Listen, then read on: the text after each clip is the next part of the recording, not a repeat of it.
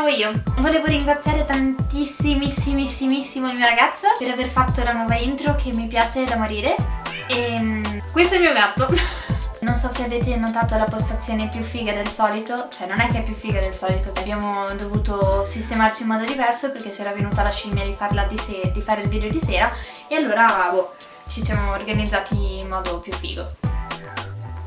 Stasera ho intenzione di parlarvi di tinte, di cosa succede ai capelli quando subiscono una tinta. Allora, molte ragazze quando vengono in, in, salone da noi, prima magari di fare una tinta sono preoccupatissime, spaventate, non sanno che cosa succederà ai loro capelli dal punto di vista magari del tatto oppure della vista, se sembreranno più rovinati, eccetera, eccetera. Oggi vi parlerò di tinte naturali, ma naturali non nel senso di erbe come l'enne, di cui poi parlerò in un altro video, ma di eh, colori naturali. Una tinta che sembra naturale, che non sembra una tinta. Lo so che sembra un po' un gioco di parole, però è così lo giuro. In questo video non parlerò del nero perché il nero non è un colore naturale. Molte di voi magari non saranno d'accordo sul fatto che il nero non sia un colore naturale, ma magari c'è una ragazza che ha i capelli molto molto molto scuri, un castano davvero scurissimo e sembrano neri, ma in realtà il nero non è un colore naturale. Poi voglio anche dirvi subito che cosa vuol dire capelli vergini, lo dice la parola stessa, che sono illesi da ogni forma di trattamento, tinta, decolorazione, permanente, cose del genere. Comunque sia, vari trattamenti. Non, non soffriranno tanto se subiranno una tinta. Se una ragazza è bionda e vuole diventare scura, che sia un cioccolato al latte o un fondente o sia un po' più scuro, non sarà tanto un problema perché scurire fortunatamente per chi volesse diventare scura non è un problema. Ovviamente lo sconsiglio a chi è bionda naturale perché secondo me il biondo è uno dei colori più belli che esistano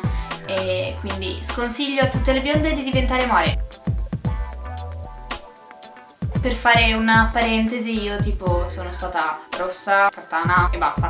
Però tipo ero bionda e mi era venuta la scimmia del rosso e allora avevo fatto il rosso con le ne Poi da rossa sono ritornata bionda. Non mi andava più di essere bionda allora sono diventata castana Insomma sono stata di tutti i colori. Alla fine tornerete bionde, è quasi sicuro e il capello apparirà visibilmente più lucido perché lo scuro fa sembrare il capello più lucido. Per le ragazze invece castane la difficoltà nella schiaritura si incontra da quanto è scuro il capello ovviamente. Se il capello che dobbiamo andare a trattare non è così tanto scuro la schiaritura sarà magari un po' difficile all'inizio perché se il capello è molto resistente il colore tende a schiarire di meno. Se il colore è caldo si otterrà una schiaritura molto naturale e molto figa. Dal punto di vista del tatto eh, lo troverete un po' più secco sicuramente, lo sentirete molto ruvido all'inizio.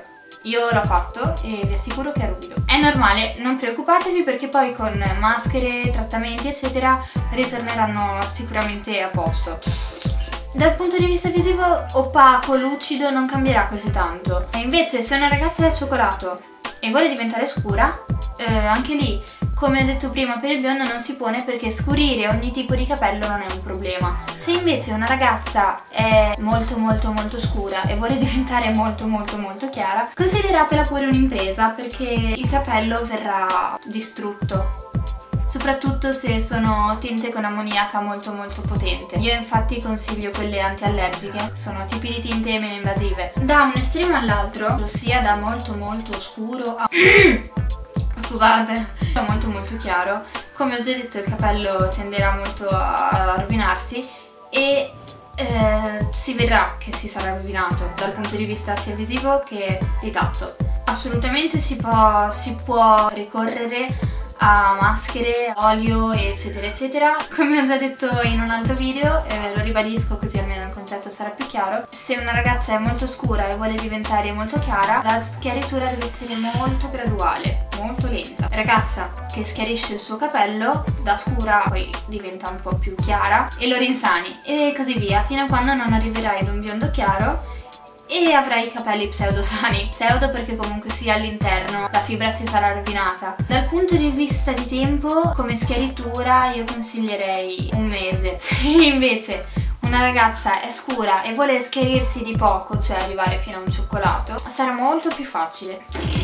Avrete sicuramente avuto modo di notare che eh, dai primi video che ho fatto fino a l'ultimo, ovvero Chubby Bunny. The Dude Chubby Bunny è fantastico, ve lo linko qui sotto. Sono ritornata più o meno bionda. Ho fatto la tecnica della schiaritura dello chatouche solo che magari non si vede così tanto perché ho richiesto al mio parrucchiere di fiducia anch'io ho un parrucchiere di fiducia di farmelo molto vicino alla radice per tenere una schiaritura meno ricrescita riga biondo perché non mi piaceva molto e devo dire che sono davvero davvero davvero contenta del risultato che ho ottenuto e soprattutto perché le bionde naturali, se ci avete fatto caso, hanno questo effetto un po' di ricrescita più scura delle punte un po' più sul chiaro, un po' più sui toni del dorato e questo è l'effetto che ho voluto ottenere. Scusatemi per eh, boh, le varie interruzioni, quelle cose lì, no. Io vi saluto tutti, spero che il video vi piaccia, sia utile. Un bacio!